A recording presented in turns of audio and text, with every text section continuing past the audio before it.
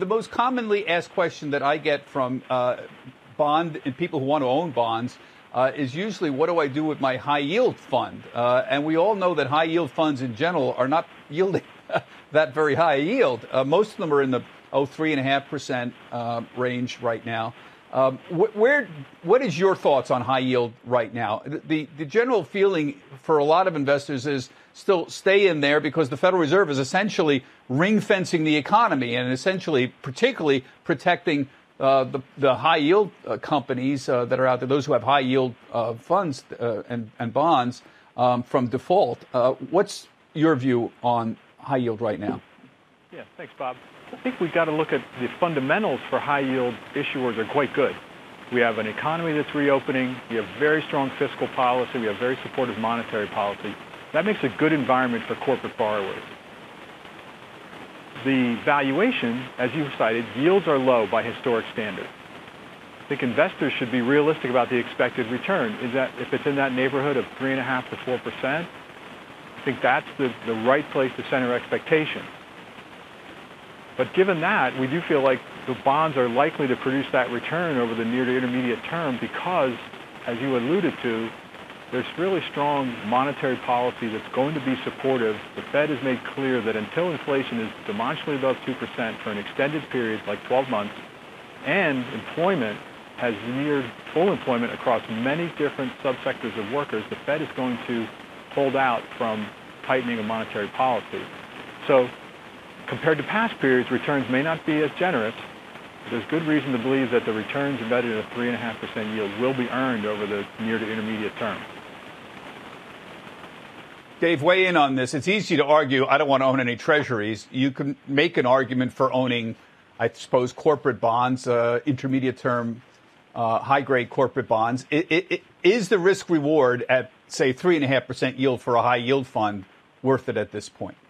I, you know, most of, most of the folks that I'm talking to are actually looking not to the bond market as any form of a yield vehicle because they just don't think they're getting paid enough. They're looking at it purely for that diversification angle. And so, you know, to John's point, looking at corporates, looking at high yield, staying that belly in the middle of the curve, that will give you some diversification. But most folks I'm talking to are looking for yield. They're actually more likely to go into the equity market, either looking at high dividend yield or looking at any number of yield generating options that come to market that really use the options part of the equity market to throw off that yield.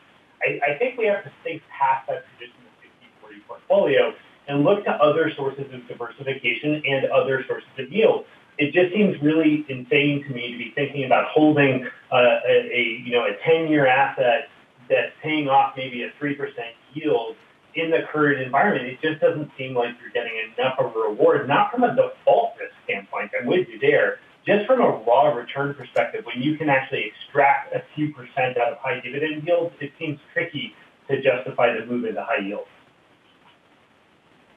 Yeah, I mean, you're getting 1.7% on the S&P 500 right now. 3.5% seems like, uh, you know, uh, a pretty paltry uh, additional yield for, for high yield, given the limited upside you get just owning high yield versus owning stocks. Uh, yeah, but I, I, I suppose there's very good. Re- three or four, three or four percent inflation. It seems very hard to justify owning many of these fixed income properties, honestly. Well, I think we might differ yeah. on that. Let me move on. Four percent inflation. That's really not. Go ahead. Inflation we would be expecting. Um, not you know, but I think for a couple quarters, I think that's not an unreasonable expectation. I think we might get some idiosyncratic three and a half prints here somewhere in the mix, and I just don't think that that's going to bode well for the pricing on these bonds. I think yields are going to have to come up regardless of what the Fed's doing. Well, I think that three and a half percent is a transitory number that's pretty easily predictable given the year-over-year effects of the pandemic. So we'd expect trend inflation over the longer term to be moderating back down towards about two percent. Um, I think we will see a couple of quarters of high prints, but I, I'm, something tells me that that's already pretty well factored into market valuation. Yeah, there's the, the debate. I mean, the transitory statement. Transitory is kind of like the magic pixie dust we, we that the, the Fed has now been able to sprinkle over everything, saying, well, we might be three or four percent now, but it's not going to be at the end of the year. That's the source of the whole debate. Uh, John, I want to move on. You've got a new bond offering. This doesn't happen very often. Um, Vanguard's ultra short bond ETF, VUSB, launched a, a week ago. uh, I hear it just hit $100 million in assets under management a week after launching. That's, that's not bad. Vanguard doesn't launch a lot of new funds. So why was there need for a, an actively managed um, uh, short-term bond ETF? So we do feel this is a product that can really help investors faced with zero money market yields. Uh, investors could move out to a fund like this with about a one-year maturity and earn a little more yield and have the ease and um, convenience of an ETF vehicle, which works really well in the ecosystem for many investors and many advisors. And from an active management perspective, Vanguard has a large uh, stable of actively managed funds. We've been doing it for a long time. We feel like we can generally add value to a portfolio like this for clients. Um, so we feel good about it. And we've had a similar fund in the market for about six years now that's done quite well for clients. And uh, so we're trying to to expand the access to this type of product using an active ETF vehicle for Vanguard. Yeah, it's it's a tough game, short-term, you know, bond funds, particularly when you're dealing with active management. Essentially, you're playing for a few basis points, right? I mean, what we what would be the expected differences between your actively managed fund and say an, an index short-term bond fund? Well, I think the differences compared to the average fund that's out there would be that the fund will have a very low fee at about 10 basis points and our team, using their active strategies, we hope would add 25 to 50 basis points a year, um, and have had some success in doing that. So um, those would be the kind of advantages that we're thinking about. Yeah. That is a remarkable as- aspect of, of Vanguard, uh, the ability to do active management at a really, you know, low cost. Um, many of your funds are, are, are, much lower uh, than everybody else's. Um, some of the, uh, the bond funds are in the 20 basis point area, uh, where other people's are in the 40 basis point area. What, what's the sort of secret to keeping these active funds at such low costs? Well, Bob, the, the key to Vanguard's low cost for clients at its core is our mutual ownership structure, so that clients benefit by owning Vanguard, and we're not having to create a profit or a dividend for a third party so that's the core of it. And we use that two ways. We provide the return for owning Vanguard to our clients, primarily in the form of lower fees. But the other thing we do is we make active choices about investing in our business. Do we return uh, to clients via lower fees, or do we invest in the business and produce greater capability and greater returns? And we try to strike the right balance there. And in our fixed income group in the past few, few years, we've invested a lot in our capabilities in things like emerging markets and high yield, global and mortgage-backed bonds, all in the name of raising capabilities. We've expanded a lot our capability as well to manage scale and complexity in our index franchise.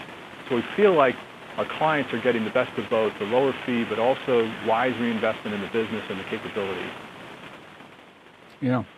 Dave, Dave, let me move on and, and, talk to you about the whole pricing of bonds in general. We know the ETF haters have been saying for years, oh, wait till things really get volatile. These ETFs, particularly these bond ETFs, are all going to blow up because they're not going to be able to trade the underlying bonds once things, once there's a lot of redemptions out there. And all of that turned out to be a lot of uh, nonsense, essentially. We had a lot of volatility last year, uh, and bonds were able to price very efficiently uh, even in uh, more obscure corners. What does this tell us about the nature of pricing and, and, and, and ETFs, and what does it imply for, for uh, bonds and bonds ETFs?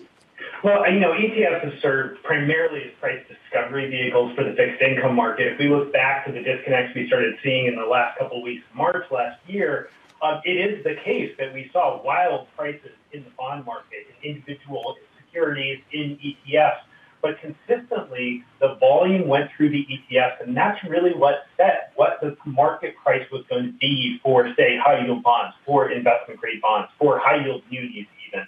Um, those those securities, those ETFs kept trading no matter what was going on in those underlying. And as those markets get more and more electronic, which is happening more every day, we're up to about two thirds of Treasury trades clearing electronically, roughly a third of non-Treasury trades in the U.S. clearing electronically. That's up 100% in two years, that actually makes market making much more easy, easy in these products. Uh, and so what we see is spreads keep coming in, even in those moments of disconnection. Those those really are transitory, to use the word of the day. Um, disconnects between, say, the advertised price of an ETF and its underlying index. We're seeing that get better and better as time goes on. The market gets better and better at understanding it, and structure seems sound. You know, I'd like to just. Uh, John, isn't it something that the ETF tail kind of wags the dog at this point? Uh, that that we were able to effectively price not only ETFs but even bonds um, uh, during times of very high volatility and when we had re- redemptions. Uh, this is, I take it, unabashedly good. What what Dave is talking about: more electronic trading of bonds because it implies more pricing efficiency. Am I correct in assuming that? How, how do you feel about that? Yeah, I agree with Dave on, and I, think to expand on the centrality of, uh, of ETFs in the bond market as a really important innovation that is dramatically changing and I think improving the liquidity of the bond market. If we think about what a bond ETF is, it takes hundreds or maybe thousands of individual bonds. Each on its own may have very low trading volume. But the ETF consolidates them into a standardized trading unit that trades on an exchange, all the transparency and benefits of that, and it concentrates the liquidity. So as Dave referenced, people who are looking to transfer risk, buying or selling bond market risk can do it very efficiently. And what we find is that that sort of basket, that consolidation of number of securities into a single unit is becoming increasingly common and at the cutting edge of trading throughout the bond market. So active investors who may not at all be involved in managing ETFs are using basket or portfolio trades to modify their portfolio, move in and out of the market, and implement their strategies. And so it centers around the bond ETF innovation, but it's transforming the way bonds trade, and I think, importantly, increasing the liquidity of bonds overall. Yeah, I think it's wonderful because it's it's completely disproved the ETF haters who said the whole thing was going to blow up because we wouldn't be able to trade the underlying. And as it turns out, it's it, the pricing of the ETFs helps set the underlying pricing of the bonds. This is profoundly interesting to me from an intellectual point of view because it's somewhat anti-intuitive, but it does work that way.